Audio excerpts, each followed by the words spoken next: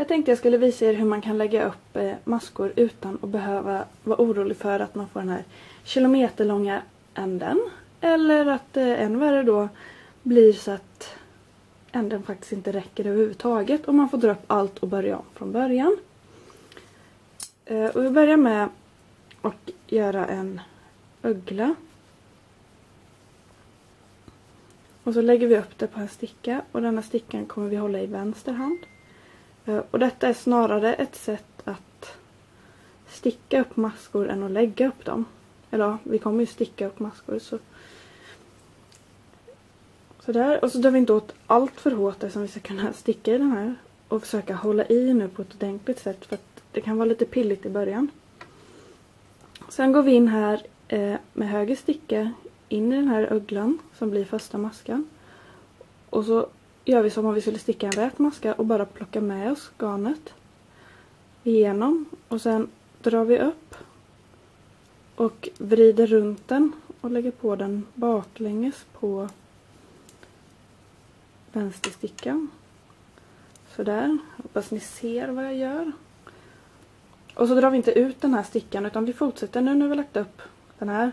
Så fortsätter vi som om vi skulle sticka en rät maska. Så vi går runt på baksidan. Plockar med oss garnet igenom. Drar upp, vrider och lägger på. Och kanske drar åt lite här om man gjorde den så stor som jag gjorde där nu. Och fortfarande ha kvar höger sticka i.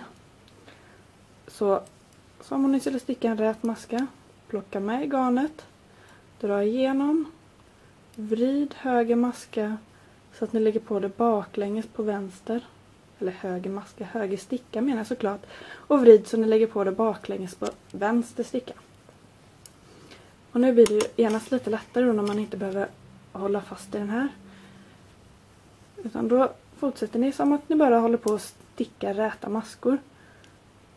Så plocka med igenom, vrid, lägg på baklänges och dra åt lite. Sen kan man ju provsticka upp de här eh, uppläggningen då ett par gånger för att se hur hårt eller löst man bör sticka upp.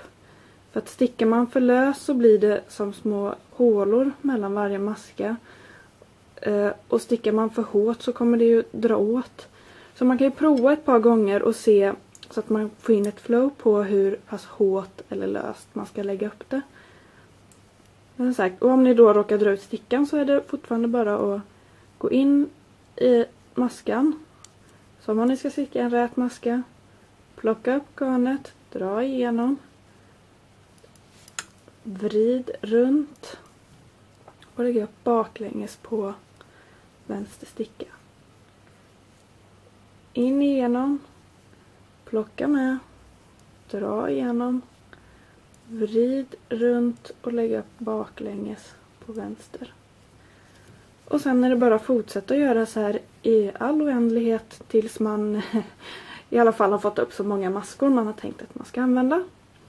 Och sagt, prova att göra små provstickningar innan ni kanske börjar lägga upp maskor för en tröja.